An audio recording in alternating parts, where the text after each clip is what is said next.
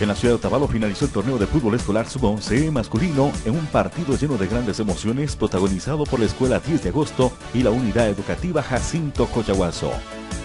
En trámite de la contienda, la Escuela 10 de Agosto fue el de la iniciativa, por lo que sería quien se haga presente en el marcador sobre el minuto 15 del primer tiempo, en una acción donde Jimmy Álvarez levanta un tiro libre, se genera un rebote dentro del área, lo cual es aprovechado por Jordan Plasencia para poner la cifra 1 por 0. Con este resultado, los equipos se fueron al descanso.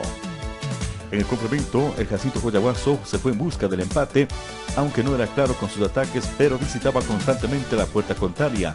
Sin embargo, en una recuperación de pelota del 10 de agosto, se fabricó un contragolpe dejando en el mano a mano al delantero Mateo Guerra con el arquero Alex Paltán, registrándose así la segunda conquista del compromiso, mismo que sería definitivo. Luego de consolidar el título, los campeones compartieron su alegría.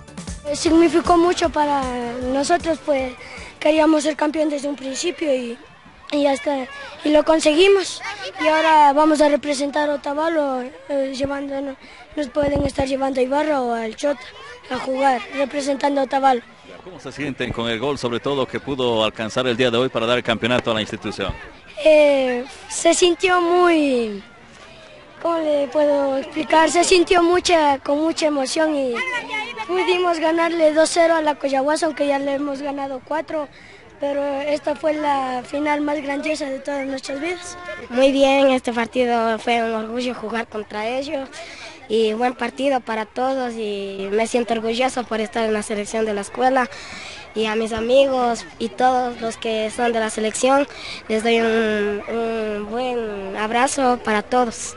Sé si fue la disposición trabajar en equipo porque ustedes tocaron, a, diríamos, inclusive también los últimos metros, ¿no?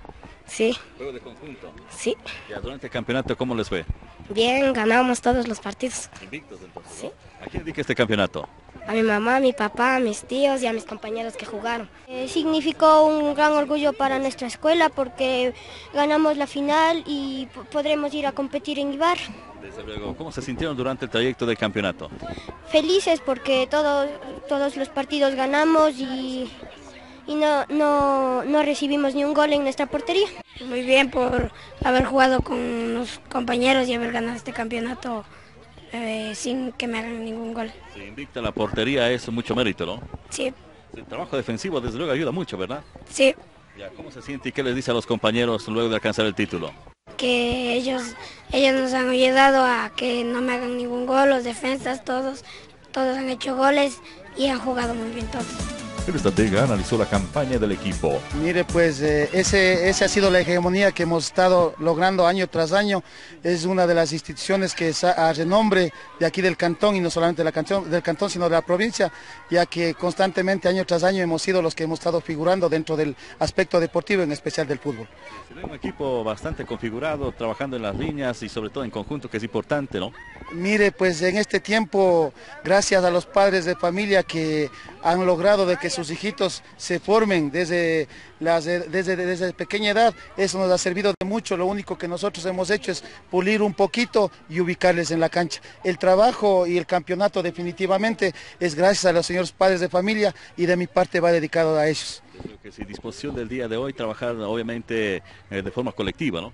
Sí, hasta cierto punto le veo que es positivo, pero lastimosamente eh, usted sabe que dentro de la cultura física en las disciplinas deportivas es un proceso, sí, y el proceso lastimosamente lo que nos dice el gobierno es muy corto, no nos da posibilidad a que, a que continuemos con esto, con los niños, pero dando gracias a Dios, hoy nos ha dado resultados. Por otro lado, los vicecampeones también expresaron su criterio de esta final. Institución. Sí. ¿Qué faltó para poder alcanzar el triunfo? Eh, más ñec. Sí, bueno, habrán revanchas, ¿no? Sí. Okay. ¿El vicecampeonato a quién dedica? A toda mi familia ya. A, a toda la institución. Significó mucho para mí, para mis compañeros estar en este, en este torneo. Eh, dimos todo lo que pudimos en, en la final y mis compañeros también dieron todo lo que pu pudieron y, y, peleamos por el primer lugar, pero no se pudo y quedamos en segundo lugar y hicimos todo lo que pudimos. Complicado, ¿no? Panorama. Sí. ¿Qué significa para usted representar a la institución? Muy, muy feliz porque somos muchos y de, de todos salimos 15. Desde Un honroso segundo lugar también a quién dedicar. A mi familia y a Dios. De su parte, el entrenador destacó la entrega de sus dirigidos. Ha sido un campeonato muy importante que se realizaba aquí en el cantón de Tabalo.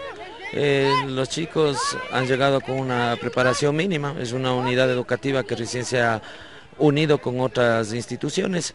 Estamos haciendo un proceso con ellos, creo que han dejado todo en la cancha y el partido fue para los dos equipos. Lastimosamente así es la suerte, para ellos se les dio las dos oportunidades que tuvieron de gol, supieron aprovechar, en el caso nuestro no lo hicimos, pero los chicos se les felicita, pues dieron todo y dejaron en la cancha.